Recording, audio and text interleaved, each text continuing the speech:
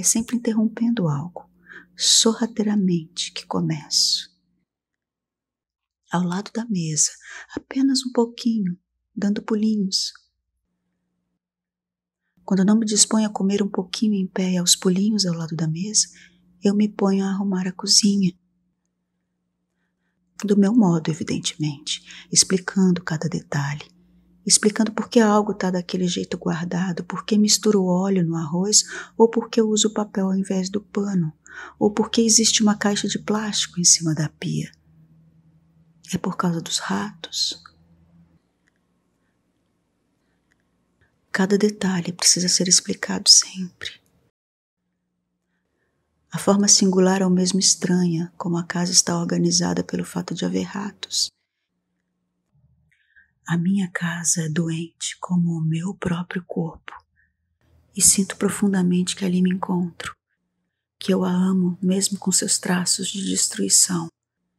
Há um amor em cada detalhe que relato, há um amor pelos ratos que sobem na pia, fazendo com que eu precise colocar caixas de plástico para que eles escorreguem com as patinhas e não alcancem os pratos que eu não lavo.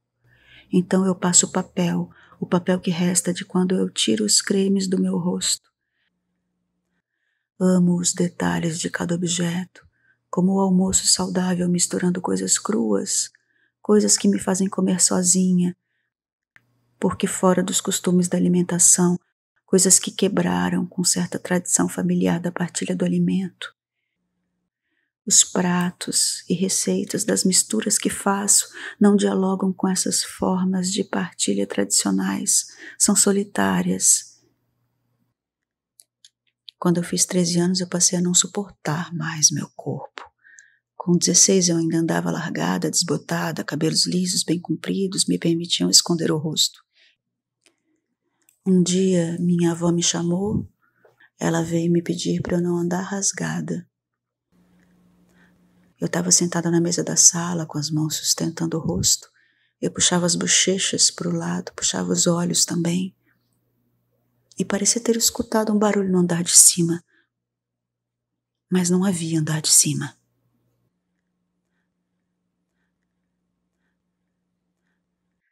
Eu tenho esse momento na minha memória como uma constatação de um surto.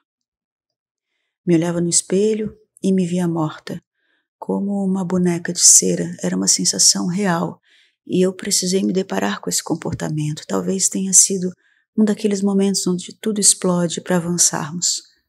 Era uma sensação de solidão indescritível. Haviam dois olhos que não viam nada e um corpo que doía.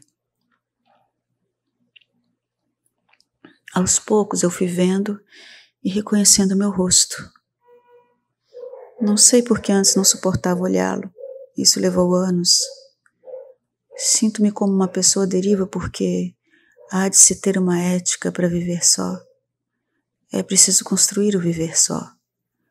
Eu não tive, de fato, como lutar porque já havia terminado. Essas rachas me fizeram sofrer porque foi onde eu apostei as fichas. Eu esperava que tivesse um tempo em que as esperanças se renovassem até aquilo tudo terminar. Mas a minha resistência é um sinal de que não desmoronei como poderia. Algo me segura com certa satisfação.